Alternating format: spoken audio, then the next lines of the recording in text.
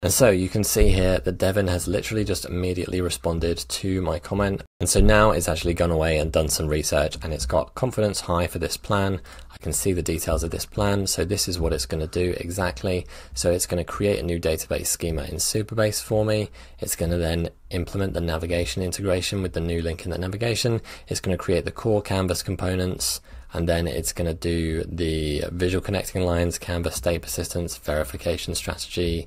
There's a bunch of stuff in here. So what I would do with this, now you could either break this down into individual things and get multiple Devins to work on it.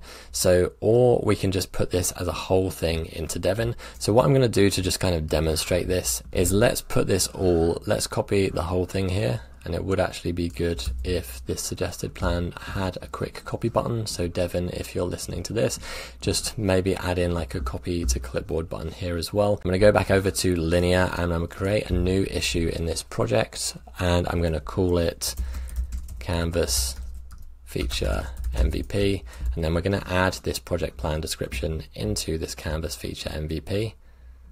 We're going to create that issue. Let's put priority as urgent because we know that everything has to be urgent in order to get done. If you know anything about development teams, you'll know that everyone loves to set high priority on everything. Uh, let's create that issue. I would say generally it's probably better to split these things out into separate issues. If I go to view this issue now, we've got a detailed outline of exactly what Devin needs to do to build this feature.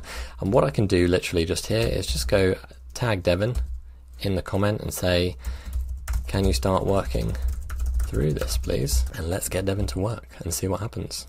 And so you can see here that Devin has literally just immediately responded to my comment. I'm Devin, currently researching your task. I'll be back soon with a proposal. Please check back in five minutes.